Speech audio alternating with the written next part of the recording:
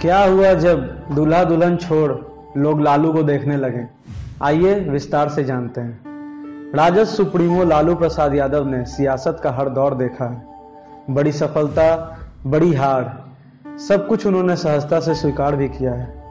कभी लालू को MP MLA पैदा करने की मशीन के तौर पर देखा जाने लगा था। वही लालू खुद एमपी का चुनाव भी हार गए थे। तो कभी अपनी पूर्व सीएम पत्नी को एमएलए भी नहीं बनवा सके थे। इसके बावजूद लालू निजी जीवन में हमेशा सहज भी रहते थे। कार्यकर्ताओं के यहाँ शादी विवाह, आदि निजी कार्यक्रमों में व्यवस्था के अनुरूप शरीक होते रहते हैं। बात मई 2014 की है। पटना के कंकड़ बाग में लालू के एक ऐसे ही एक समर्थक के घर बेटी की शादी थी। बारात भी लग गई थी। वरमाला की रस्म चल रही थी। स्टेज पर दुल्हन दूल्हे की आरती उतार रही थी। इसी बीच भीड़ से शोर आई। लालू यादव आए हैं। अरे, इधर देखो, लालू यादव आ गई लन वरमाला में कोलाहल मच गया। वरमाला स्टेज के पास लगी भीड़ छट गई। दूल्हा दुल्हन छोड़ लोग लालू को देखने चले गए।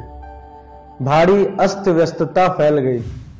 लड़की के पिता ने लालू को रिसीव किया और कहा कि सर, बारात लग गई है और अब बस वरमाला हो रहा है। मुँह में पान चबाते हुए रंगीले लालू ने कहा कि चलो, हम भी वरमाला देखकर ही खाना खाएँगे।